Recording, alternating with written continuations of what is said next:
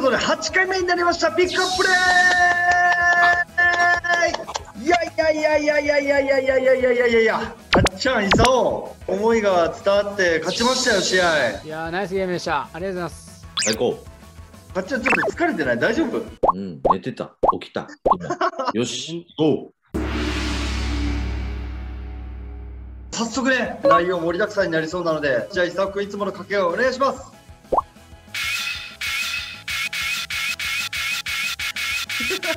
up, pick up tape. 明治安田生命 J3 リーグ第20節 FC 岐阜をホームに迎えている試合となりました。この試合はね鹿児島県と岐阜県の姉妹県名約50周年記念ということで鹿児島ユナイテッド FC 史上初サードユニフォームを着て伊佐君がね今つけてくれてますけどこの赤いユニフォームを着ての試合となりましたね。なんかこの白波スタジアムで赤いユニフォームを着て試合するっていうのは新鮮な感じありましたけど。ということでそんな明治安田生命 J3 リーグ FC 岐阜戦のメンバーを発表していきたいと思います。スターティングメンバーは前回と一緒。ゴールキーパー大西選手右サイドバック小月選手そしてセンターバック藤原選手岩尾治ヘンリー選手左サイドバック江藤選手ボランチには中原選手と八田選手そしてトップ下に秋山選手左のフォワード米沢選手右のフォワードに山根選手真ん中に山本選手という布陣になりました。そしてサブのメンバーをご紹介します。ゴールキーパー白坂選手ディフェンスウェズレー選手砂森選手ミッドフィルダー田辺選手竹本選手島津選手そしてフォワードに茅沼選手という布陣になりました。早速1つ目のピックアップでいってみましょう。こちら。前半4分藤原幸太郎選手起点となるパスということで。孝太郎いいっすね最近。いいね。孝太郎ええなほんまに。準備してきた良さが出てますよね。孝太郎って多分今までずっと試合出続けてきたんちゃうかな。プロになってから。1年通してコンスタントに出てるイメージあったっすけど今年ちょっとね苦戦したじゃないですか。ただその中でもやっぱりしっかりした準備ができてるから出た時にいいプレーできるっていうしかもやっぱ勝ちに持っていける？もう中堅ベテランに近づいてきたこの通称谷口世代と言われるこの世代谷間や。谷間ではない。谷間。谷口だけにね、谷の入り口となって、こいつらを迎え入れてあげます。まあ冗談はさておき、まあ自分としても同期の活躍やっぱ嬉しいっすわ。コータなかなか出てなかったですけど、こうやって出て、やっぱこの起点となるパス、これ得点シーンの手前のやつなんですけど、こういうとこにさせるから、相手にとって難しい守り方になったと思うし、でその後のフリックであったり、パスも良かった中で、まあ思いっきりあるシュートを山本君が打ってくれて、前半早い段階での得点につながった、その起点となるのがこのうちの孝太郎ちゃんですよ。うんそれで。は映像、どうぞ。はい前半4分選手がパスで幸太郎選手ここにいますこれね、やっぱここからスイッチいや、ここですよね、やっぱり。このシュートも素晴らしかったよ、ほんまに。ね前半3分ですからね。うんねやっぱこういう1点で結局、試合が決まってしま決まってしまった決まったじゃないですか。はいはい入りいいってやっぱこういうところね、試合開始ってアンパイにボールつないでしまうようなイメージはありますけど、それをね、ちょっとしたリスクもありながら、こういうところをパス通しに行けるって、技術ですね。ね確かに技術。確かな技術だよ本当にうんそれでは続きまして前半6分出てきましたね。もうこの選手は毎回毎回出てくるんじゃないかと思いますけどあったんだ後輩選手さすがの回収職人と。これもね立ち上がりなんですけどこの人がこうやっぱ拾ってくれることによって仲間が守備に戻んないといけないっていう作業をしなくていいっていうどれだけこう仲間を助けるプレーをしてるんだって思えるぐらいのこうハッチャン選手の活躍。入りが良かったっていうのはこのハッチャンの守備とかこの回収率でこのチームの勢いってものを作ってくれてんじゃないかと僕は思ってこれちょっと見てほしいなと思いました。よろしいでしょうか？じゃあこちら。これねいい形でこうボール入れてここで相手ボールになってしまうんですね。でハッタン選手ここにいて出したプレーあこれいけるぞって思った瞬間のスイッチ。でここから1対1になってこれを逃さないっていうね。ああね、こういうのね。でこれまたマイボールになってここから攻撃するとで見てほしいのがもうこのあいけると思った瞬間のスイッチの入れ方グッて。でここで止まれる。でまた狙いますよっていう相手に対してしっかり閉じるこの反応ですよね。逆で考えると、うん。このシーンって絶対取られたらあかんじゃないですか。もう抜かれたら6人置いていかれるからねだから結構塩梅なシーンを選びがちやけどそこでもやっぱここで取りに逆に考えたら取れるのってうん。すごいっすよね。うん。なかなかこのシーンってないじゃないですか。この場所で取れるし取り切れるシーンって。そうだね。遅らせるとかいう方向に頭がいきそうだけどね。ねうん。どっちかというとこの夫妻で待つことが多いっすよね。そうだね。けどそれでもやっぱ行ってあまりにも調子がいいなハチ君。ねえかっちゃんどうよ8このプレーうん、やっぱ、なんでこう切り替えがやっぱ早いよね。うでも全体的にやっぱ早かったよね、この試合は。んいやーはっちゃんナイスはい続きまして前半18分中原修斗選手鋭い読みと正確な技術ということでまあ、もう、この人なら可能ですって感じのプレーです。はい。何？目開ききってないわ。いやでも本当そうだよね。シュートがやってるからなんかすごいプレーに見えないけどこういうの当たり前かのようにやっちゃうからね。シュートの思考回路をちょっと俺は探りたいよね。なんであんな落ち着いてできるのかがやっぱ不思議で不思議で、最近おふざけなプレーばっかりちょっと取り上げてたんで、誰が上げてんの？ずっとこういうプレーが本当のシュートだぞああっていうプレーです。はい。ほんまの真のシュートのねシュートごめんねのプレーです。じゃあこちらですどうぞ中原選手ここにいますうん。ここから相手はくさびお、クッとうまい。よいしょうまい。うまっうまいうまい。うまいシュートの時ふざけるな2人ともうまうまい。マジでうまいよこれ。うまい。でもええな。これこれってさい。うん、相手ってもうさファールでもいいから止めようぐらいな感じじゃん。仲間全員前にいるから。そうなんよ。ちょっとねファファール気味に来てますよね。うん。ちょっともうファールでもいいから止めようぐらいなんだけどここでトン。で足だいぶ上がってますもんね。うん。でもシュートは相手も傷つけないようにボール触った後すぐ足引いてる。から優しい男よ。優しいな。優しいよタッチも優しい。確かに。優いやーすごっ。しい。うまい。これでもう同数よほぼ。すげえなシュート。タッチも優しいね。読みもいいよ読み。内側に出てくるかもしれないっていうポジションも取ってるからちゃんと。いやーさすがっすさあ続きまして前半36分秋山選手ギリギリでも判断変えちゃう。これねサッカーのうまさってこういうとこやと思うんですよ。まあとにかく見てほしい。もうめちゃくちゃうまいですから。ギリギリで判断変えれるのってこれはなかなかできひんちゃうかなと思いましたね。秋山君の落ち着きとうまさしっかり見えたプレーでした。どうぞ。はいそのプレーはこちら。ここにいますね。藤原選手からフォゲッチ選手へ。フォゲッチ選手からおだいおぶだいぶうまいな、これ。うん。だいぶうまいよ多分体あえてボールの方向に向けてるじゃないですか。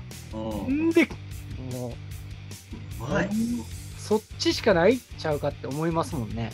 体の向き的に。それをさこのすなんかもうやるん首振ってないんかなやるん決めてたようなプレーに見えますけどね。もうなんか誘ってるよね、相手を。ね。この体の向きであえて誘ってるけど、誘っうわうまいこれちょっといらんピックアップしてもうたかもな。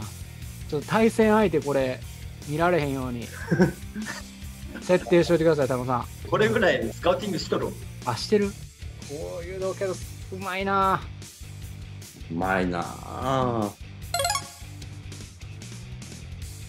はい、それでは続きまして後半59分米沢玲選手魂の乱鹿児島サポの心をわしづかみと。鹿児島サポって結構頑張る系の選手とか好きじゃないですかまあね、誰かが植え付けたからね。誰かが植え付けたってお前俺見てあ言うなの自分でミスして、スライディングで取り返して、スタンド沸かせるっていう得意プレーがありましたよ。あっこら辺からちょっとなんか、騙されてる。みんな騙されてると。騙されてる。みんなが今褒めたプレー、タムさんのミスやっていう。ただこのシーンなんですけど米澤レイ選手が年を追うごとに足が速くなってんじゃないかっていうのとあとはやっぱりこう魂の乱を通してチームが俺らも走んなきゃやんなきゃみたいなのをこうレイが引っ張ってるプレーでじゃないかっていうプレーを俺がちょっとピックアップさせてもらいました魂のルフラン。それやめろお前エヴァンゲリオンのやつや 魂のルフラン。はいこちらですどうぞこれヘンリー君クリアするんですよ。ここにレイ君いて。で行きませんよってそぶり見せてて相手が後ろ向いた瞬間グーン！はいやはいよ。で僕食らって取られちゃうんですけど切り替え。でもう一回で倒れちゃうけどまだいける！魂。もう一丁！ようすげえ。でここで相手をここまで追いやるっていうね。下げさせた。おここまでこっからあそこまで下げさせたんですよ暴走モード入ったね。放送も。はいや。早いよねうん。でこの辺でもうやめるじゃん普通うん。でもまだ行くいやここ倒れちゃったけどもういいかな狩野さんの DNA がやっぱまだ受け継がれてるわ。俺ってまだ行くからねでやっぱここでやっぱ思い出してほしいのが、うんレイのシャトランすごいじゃないですか、ヨーヨーテスト。すごいよね走りねあれ、やっぱウッシーと並んで、我らが二大巨頭やったじゃないですか、うん走り足速くて走れるのが一番最強だから。最強だよねやっぱりこれすげえぜ、これ。マジ魂感じるこれ倒れてもこっからよ一人でやっても守備。すごいね。一人で4人分ぐらい走ってるからこれうん。ああ。すごい、すごい。で、取り切られへんけど、やっぱこのね、切り替えええな。これ俺もやんなきゃってなるよねチームメイトだったらうん。はい。はいっていうプレーでしたありがとうございますナンバーワン暴走モード賞あげます。どうぞ。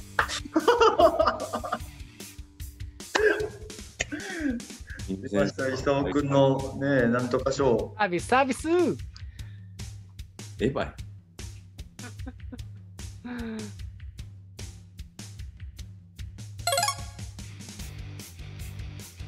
はいそれでは後半80分田辺圭佑選手魂のヘッドスライディング伝説再びそうですね、昔、狩野さんがやったのかな、これは。頭でヘディングするっていう。そう。頭でヘディングじゃねえ。頭でスライディングに行くっていうね。頭からねスライディングヘッドスライディングでボールにヘッドスライディングするっていうありましたね。プレーがまあ昔あったんですけど、それを彷彿とさせれる田辺選手の魂のヘッドスライディング。どうぞ。もう80分ですからね途中から出てきて田辺選手ここでサポートに行ってナイスサポートトラップあしまったおりゃ でと取っちゃってねそうなんよ。でこれでボールをヘディングしますからアイボールにしてるもんね、この後。すごいよね相手も何が起きたか分かってないから。審判だってこの距離で見てるからね。うん。そうだね動かれたからねこれ頭でいい。おこれ新しい技だよね。これあれやな。どっちかというと、タノさんのヘッドスライディングっていうよりかは、うんあのープロレスラーの本間智明さんのこけしやな、これは。いや知らんわ俺楽すぎる。本間智明さんのこけしっていう技。この頭から突っ込むやつ。あーすごい。すしかもごい。さ、この後さ、パス出すじゃん。うんこのパパス出した後に弾かれるでしょ。うんそその弾いたやつにまたヘディングでいくから。これ、すごいな、これ。すごいぞ。魂。でもちゃんとボール取ってるから、ねえ。うん、しかも、その、倒された2人の選手結構借りに来てるじゃないですか、このプレーうん。来てるねこれをしっかりかわせるところもね、この後な何されたか分かってない。借りてるからな、これ。すげえぜ。ここ出てくるよ。いやほら。っていうシーンでした。ベスト本間智明賞、差し上げます。後半85分、茅沼雄星選手、フットボールが誕生してから一番うまいスライディングということで。いや、これ、俺が今までサッカー約24、5年見てきた中で、一番うまい。一番うまい。スライディングあったのかと。これも見た瞬間、めちゃくちゃうまい。とにかく、一回見てください。じゃあこちらです。どうぞ。あー、取られる。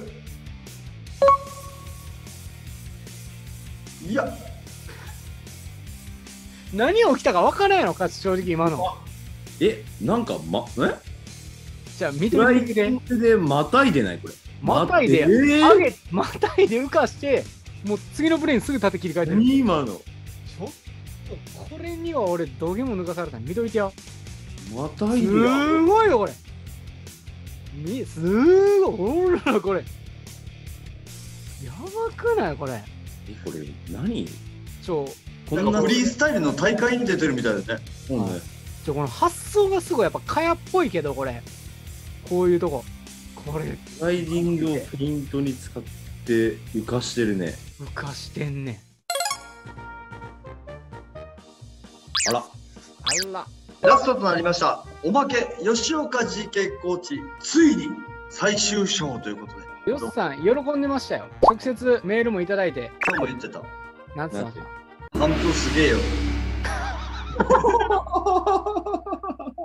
おもろいですね。俺、インスタとかにも上げてるじゃないですか。北九州の時のサポーターの方とかからも、喜びのメッセージもらえる。そうか吉さんも北九州の GK コーチしてたりしてたから。そうそう。ああ、なるほど。これ見せていいんかな？個人的な LINE にはなっちゃうんですけど、これほんまに俺作ってないですよ、マジで。マジで作ってないですよ。1枚の画像が届いたんですよ。誰から？ヨッさんから、ヨッさんから。いや、ほんまやで、これ。それはこれです。明日も頑張ります。お前作ってるじゃんそれ。いや、ほんまに作ってないね。これ俺疑われるから嫌やねんけど。よしさんからそれが来たってこと？そうっすよ。ヨッさんが編集して送ってきてくれてるんですよ。本当に？ちなみにやけど、もう一枚、最初に来たメールも編集されてるやつやったんですけど、はいこれです。こっちこっち。こっちこっち言ってる。板尾が言ってたやつじゃん。ヨッさんのサービス精神ですよね、やっぱこういうとこ。ただ俺らだけで盛り上がってても初めて見た方は何ついに何最終章はって思ってる方いると思うんでまずはこの前回と前々回のその動画を見てもらって理解してもらおうかなと一応動画始まる前にさっき言ってきますけど最終章は最終章でも第1章の終わりですか？らお前めちゃめちゃシリーズ化してくる。第2章があるから。先に言うもんじゃないでしょそれって。いや先言うとかないと最終章っていうこの写真だけ見てしまった人はもしかしたらフォロー外す。動画を見なくなる可能性があると。あヨッさんのやつ出てけえへんねやつってもう動画見えへんようになる可能性あるからこれははっきりさせてもらう。第第2章第2幕ありますよと。はい。じゃあまずこちらをちょっとご覧ください。吉岡 GK コーチ雨天の中崩れない髪型とちょっと長い時ってどんだけワックスジェルつけてもちょっと雨降ったらもうふにゃふにゃってなってまうんですよ。確かに。それがヨシさんはもう崩れたことないでしょ。ない。髪の毛こんなんなったヨシさん見たことあります？ないでしょ、ない。そのもう謎を今回なんとか究明したい。じゃあ見ていただきましょう。これですね。もうバッチバチじゃないですか。確かに。この日雨降ってますから。雨すごかったですからこの風も若干ありましたからね。バッチバチよもうこれ。確かに全然崩れてない。キャーン決まってますね。もうヨシさん今回第2弾ということで。台風の影響で結構な雨が降っててさすがに今回はと思ったんですけど吉さん対雨みたいな。風も若干あったんでね、うん。早速見てみましょうか。こちらです。どうぞ。これで相手がちょっと選手交代怪我があったりしてまあちょっと見てもらえたら分かるんですけどすごい雨が降ってて。めっちゃ降ってるね。めちゃくちゃ降ってるね。皆さんお気づきでしょうか？どちらにいるか。はいちょっと近くなります今どちらにいるかお気づきですかって言った時にもう手挙げてアピールしてくれてましたもんね。こっちでこっちこっちこっちって言って。アピールしてくれてた多分今。嘘だ本当に？ほらこっちこっちって。こっちだよ俺だよ俺違うだろう。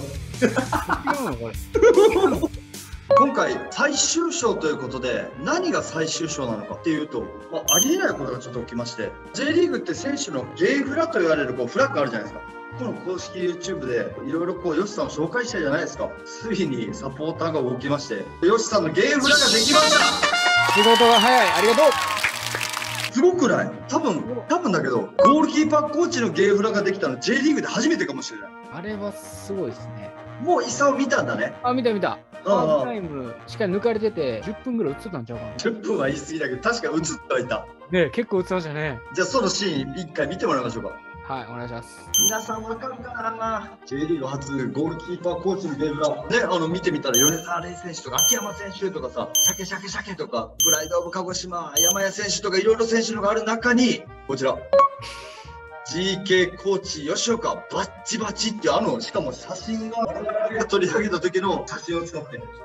素敵っすね。手作りでねサポーターが作ってくれたという。もしかしたら気のせいかもしれないですけどこの場にいる男性サポーターほぼ同じような髪型されてるんちゃうかな。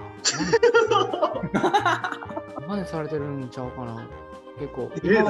正直この中でヨシさんを探せって言われたら難しいかもしれないそんなゲームランなんですけど、サポーターがわざわざ店に来てくれて写真を撮らせていただきました。そのゲーフラがこちらです。ドンすごいな筆とかを使って全部下書きを鉛筆でして作ってるんですよ。そうなんやマスキングテープみたいなのを貼って、色を塗る場所だけこう開けて、そこを塗っていって、この文字を作ってたり、絵を作っていくっていう、すごい大変な作業なんですよ、これ。怖いぜこれはこれをアップにすると、こちら。鹿児島のサポーターの仕事の速さ驚きですよねこれほんまにありがたいマジですすごいと思う。チーム愛がもうすごいよこれ本当にありがたい。ありがたいありがとうございます本当はい、それでは MVP の方を決めていきたいと思うんですけれども、決まった方からじゃあ、いつものように手を挙げていきましょうか。はい、決まりました。はい、それでは発表していきます。せーのでまた言いましょうか。せーの。米沢レイ米沢レイ。秋山くん、茅沼雄星君割れたね。初めて割れましたね。茅の世界一スライディングフットボール史上ナンバーワンスライディングも結構エグかったよあれ茅今回途中出場やったじゃないですかうんうんうん。マジで100点のプレーやったと思う俺まあまあ確かに確かに。令和85分のあの時間帯にあんだけ追い回せるってさ、なかなかできないぞ。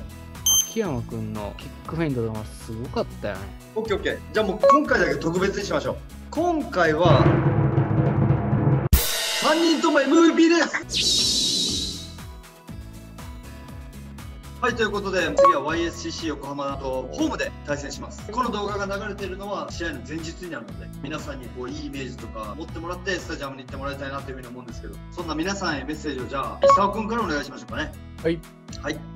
今回試合始まる前もそうですけど試合終わってからも結構見てたんですよ。なんといっても試合出てないんですけど白坂君彼の人間性の素晴らしさっていうか整列終わった後も味方をこう肩叩いたり心から喜んでる感じ。試合中もやっぱずっと声かけてるじゃないですか。あの人間性素晴らしいと思うんですよね。ベンチメンバーの大事さっていうかチーム全体で戦ってる姿がやっぱ僕現地行けてなくてテレビの画面のとこからですけど今の鹿児島の良さっていうかそういう選手がおるからこそ連勝できたんじゃないかなと思いましたね。その前は山岡哲也っていう選手がいてくれて同じような感じでね出れてない時も仲間を鼓舞してくれてましたけどああいう時もねみんな一体感持って頑張れたもんね。うん。ありがとうございます。はいじゃあ続きましてかっちゃんお願いします。まあ、初の連勝ということで、願っていたホームでの勝利、後半調子いいですから、昇格圏内も見えてきたんじゃないですか？次勝ったら見えてくるよねほんまに。いや、マジで見えてきたよね。やっぱ、すっごい混戦じゃん、上位が。混戦も混戦よ混戦も混戦よね。稀に見るね。あれに見る混戦よこれ伊佐今ちょかっちゃんがさメッセージ言ってるところだからさあすいませんかっちゃんが乱されてた今やったら入ってくんだと思って。いや、でも本当に混戦で混戦で混戦だから。混戦混戦。混戦めっちゃ混戦なの。もう本当、ちょっとの差だと思うの。試合分けるって。鹿児島ってこの前も4000人以上入ってたじゃん。びっくりして、あれで。あれこの。前混戦に入ってたのほんますごかったあよおいおいおいおい温泉になっとる4000になっあえ混戦に出た今温泉って言い過ぎて混戦になったとすいません4000 4000に入ってましたね入ってくんな、お前。4000人や。そう、4戦に入ってて、やっぱホームのあの雰囲気ってやっぱすごいじゃん。経験してるから分かると思うけど、やっぱ最後の最後で本当応援の力って力になるから、ぜひ次の試合もお願いします。次もしかしたら緊急事態宣言も明けてね、そうそう。いろんな人が見に行ける可能性ありますから、まあ、なんとしても混戦に超えて、5000人、はい。もしかしたら6000人行くかも。しれない。はい。コンになってるコンになってる。4だ4まあ冗談は置いといてですよ。やっぱほんとサポーターの力いさは違う違う違う違う俺の場合、今カツオの番だよもう本当、伊沢が言った通り、本当にサポーターの皆さんのね、応援が選手の力になると思うので、よろしくお願いし行こう。共に行こう、共に。はい、ということで、次節は白波スタジアム19時キックオフで YSCC 横浜を迎えての試合となります。何連勝とかもありますけど、まあ、一戦一戦しっかり目の前の相手に戦って勝利できるように、またね、皆さんの力を2人が言ったように貸してもらって、ぜひ鹿児島に歓喜の時をみんなを笑顔に頑張っていきましょう。それでは今日の動画はここまでということで、皆さん今回もご視聴いただきありがとうございました。次回の動画で会いましょう。ありがとうございました。ありがとう、まりょうた。それは奄美の方言だ。